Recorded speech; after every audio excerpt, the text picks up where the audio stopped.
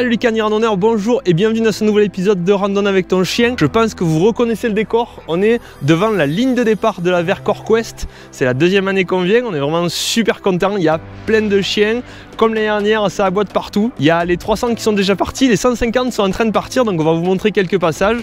C'est que le premier jour, c'est une épreuve en partie nocturne. Donc tout à l'heure, on va essayer d'aller les filmer de nuit.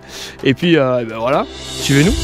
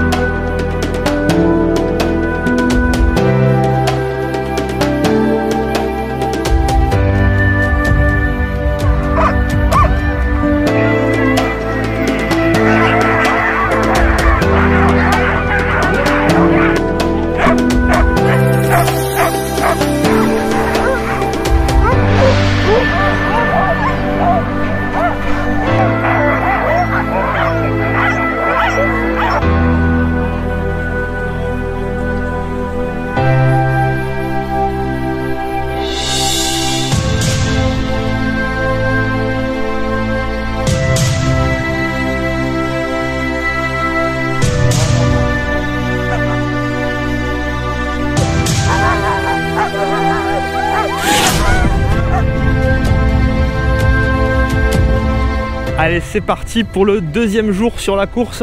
Parce que les premiers départs ne vont pas tarder. Il y a un petit peu de vent, mais il fait pas trop trop froid encore. C'est plus agréable qu'hier soir. On a un peu écourté hier soir euh, après les contrôles véto parce que ça caillait vraiment. Hein. Moi, je suis avec les deux vétérinaires de la course. On est dans leur bureau, à fond dur là. C'est euh, en extérieur. Alors, ils vont nous expliquer euh, qu'est-ce qu'elles font sur cette course à quoi servent deux vétérinaires sur la course. On était hier soir avec elles, vous avez vu les images de nuit, et euh, elles vont nous expliquer un petit peu ce qu'elles ont fait, les gestes qu'elles euh, prodiguent aux chiens. Euh, globalement, on, écoute le cœur au stéthoscope, voir s'il n'y a pas des arythmies, des choses comme ça, on prend un petit peu le pouls. On regarde un peu les muqueuses, voir si elles sont pas pâles ou pas congestionnées, et puis on touche un petit peu les articulations, voir s'il n'y a pas de pas d'inflammation, des choses comme ça. Bah, souvent les, les mushers, comme ils ont un temps d'arrêt obligatoire, souvent ils en profitent pour snacker leur chien, c'est-à-dire qu'ils leur donnent un petit peu de nourriture. qu'ils ont besoin pour de la longue distance, ils doivent absolument donner de la nourriture régulièrement pour qu'ils puissent tenir la distance et avoir de l'énergie suffisante. Il y en a qui ont des, des, saucissons un peu tout faits, il y en a qui ont de la viande mélangée, des croquettes. On peut aussi se poser la question au niveau des torsions d'estomac, savoir s'il y en a sur les courses de traîneau. Globalement, il n'y en a pas vraiment. Euh, des fois, ça arrive euh, sur des entraînements où les gens ils donnent pas de ce qu'on appelle de soupe ou de choses comme ça pour qu'ils boivent avant de partir courir et qui ensuite donc les chiens ont pas bu et arrivent euh, après l'entraînement et se jettent sur l'eau, ils boivent des litres d'eau et là ça peut partir éventuellement en, en dilatation, torsion d'estomac, mais globalement sur les courses c'est quand même très très rare.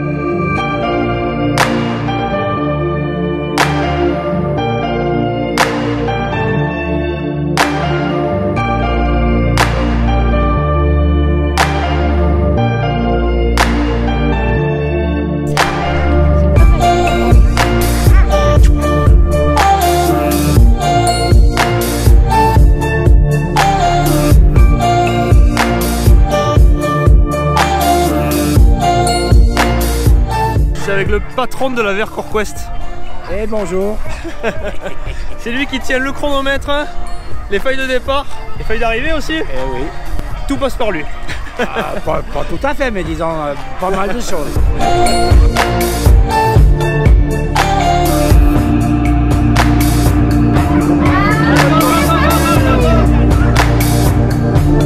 Elle m'a affiché au micro il y a quelques secondes, alors je vais parler d'elle. Elle vient me parler au micro l'hiver sur la Vercors Quest. C'est Mode qui s'occupe de beaucoup de choses dans l'organisation de la Vercors Quest, j'ai l'impression.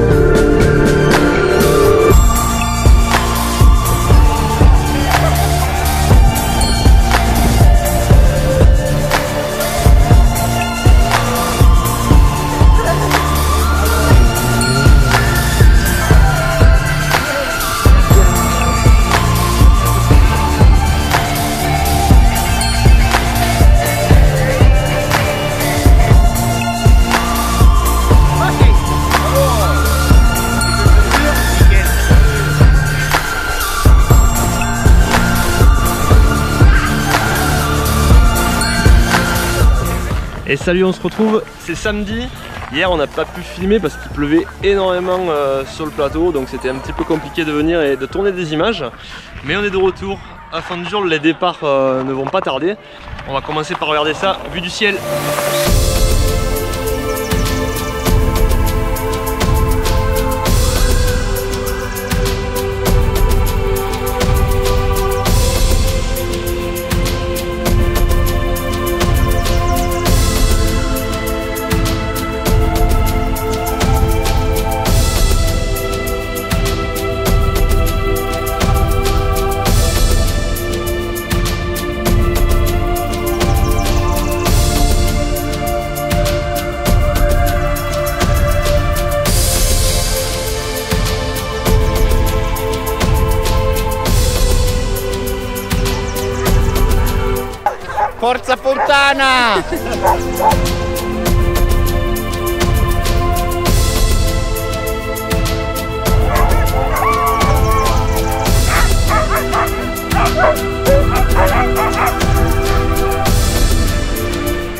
Salut la Mercor Quest euh, Regarde-moi ce beau temps pour le dernier jour. Il est, il est chaud, hein, il est chaud. Oh hein. la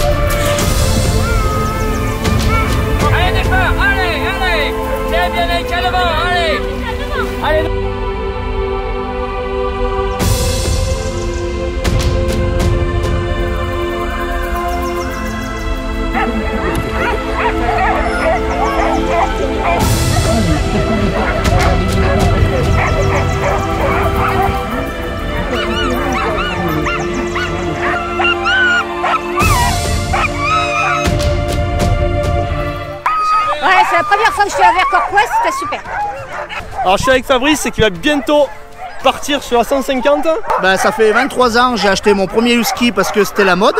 Tout le monde achetait ça, c'était la mode. Et ben après, ben, il fallait le faire courir et le virus il est venu. Ça fait 20 23 ans que ça dure. Je fais beaucoup de randonnées autant qu'en terre que sur neige. C'est pour ça que je fais la Vercors Quest. C'est un esprit euh, rando, euh, pas sprint, rien. Est-ce que tu as un petit truc à nous raconter, euh, un truc particulier qui t'est arrivé avec tes chiens un jour? Ouais, il y, a, il y a deux ans, il y a un âne qui a sauté sur les chiens. Alors, qu'est-ce qui est le plus têtu, les huskies ou les ânes L'âne. Bon ben Fabrice, on te souhaite euh, beaucoup de courage pour euh, cette épreuve sur le plateau d'Ambel. Merci. Voilà, je suis avec euh, Rémé qui vient d'Espagne. Il va nous expliquer un petit peu euh, ce qu'il fait sur la Vercors Quest. Uh, it's my first time in the Vercors. Uh, I compete with uh, with a team, uh, Wolf Dog, and 150 kilometers. C'est la première fois sur la Vercors Quest. Il va faire la 150. Another races, Pirena, two years Spain Championship and the Vercors Quest. Il y, a, il y a deux ans, il a fait euh, un championnat en Espagne dans les Pyrénées. Et euh, pour lui, c'est l'un des moments euh, les plus forts qu'il ait vécu avec ses chiens. Thank you, Rémé. Thank you Uh, very much. have a good luck on the plateau d'Ambel. Il a, il a de la graisse pour les Yes, pattes des for, for the chiens. dogs, for the for the paw, for the paw. Okay. Pas de, de rando canine ou quoi, voilà, allez, je m'inscris sur une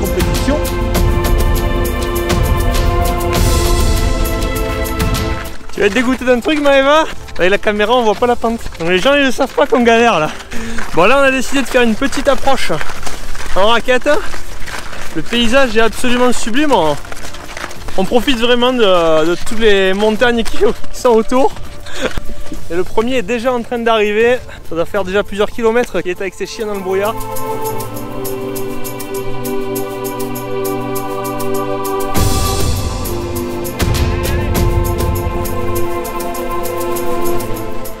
Baptiste et Laure qui sont avec nous, c'est la première fois qu'ils viennent à Fondure là. Vous appréciez le paysage ou pas la neige c'est blanc.